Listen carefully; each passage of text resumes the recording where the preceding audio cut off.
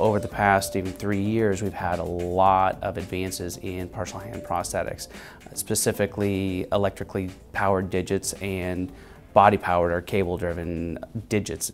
They're really important because they give patients back what none of the other options can, which is active grasp. Um, the ability to reach out and, without the aid of the other hand, grasp around an object. And that opens up a, a world of options for a person with an amputation at that level.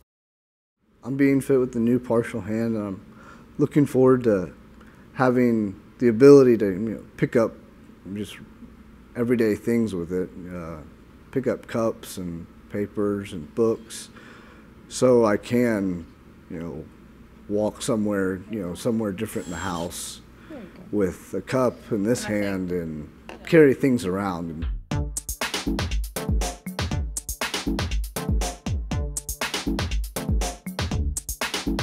The way I like to describe electrically powered is effortless power. Um, the, the amount of force that the finger can provide is not directly related to the amount of force that you put into it.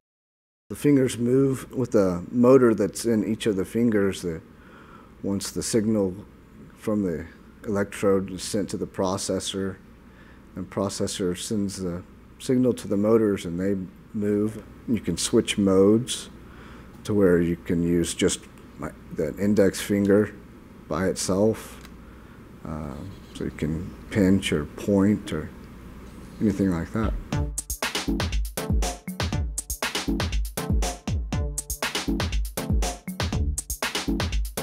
The issue that you know we've always run into is how to package something that's so uh, so amazingly complex as the human finger into the size of the human finger. And uh, previously, even the you know the first generations of powered digits, they were longer, and the fingers ended up being really really long. Um, that is not only an aesthetic issue, but it can be a functional issue. Um, you know, having a finger that is one inch too long makes it hard for your anatomical thumb to pinch up against it. So Jan, what I really wanted to show you was the difference between the first generation of power digits that you're wearing right now and the newest generation that we've made for you.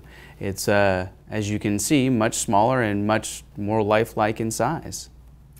It's amazing, Mac. It's, it's so much smaller. It's, it's more like my real hand. It's less bulky. I can't wait.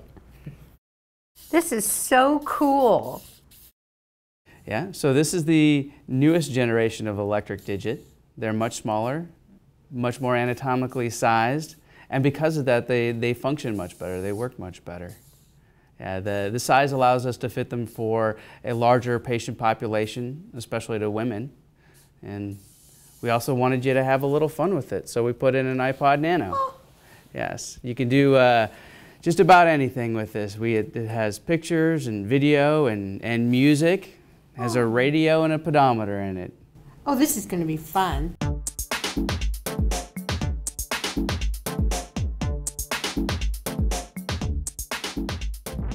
Let's see if I can pick up a tea kettle with my new hand.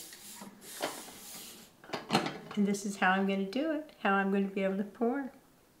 And I'm going to be able to stir the food as I prepare it. I've had this for four days. I'm still learning. And last but not least, the refrigerator that I used to open with my toe. Thank goodness I had a refrigerator with this door. But now, I can open it with my fingers. I'm so excited. Yippee! this is going to be so great. This is going to change my world.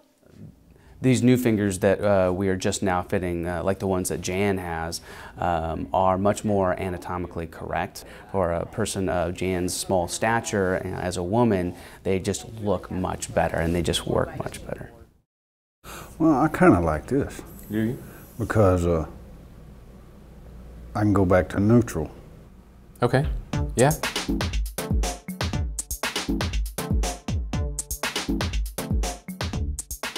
Body powered fingers are also very recent advancements. Uh, they are um, using a mechanical joint within the within the finger, but still the fingers themselves are small enough to be fit at uh, amputation levels that are very uh, low. So how do the M fingers work for that for you?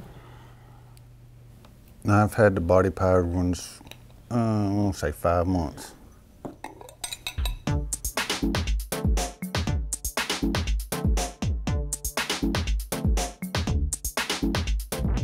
Occupational therapy is incredibly important for any level of amputation of upper extremity. Learning how to use a prosthesis um, and learning how to control it um, to be able to do the things that they need to do and want to do is, yeah, it's going to be very, very important for every patient fit with a, an electrically powered system or even a body powered system.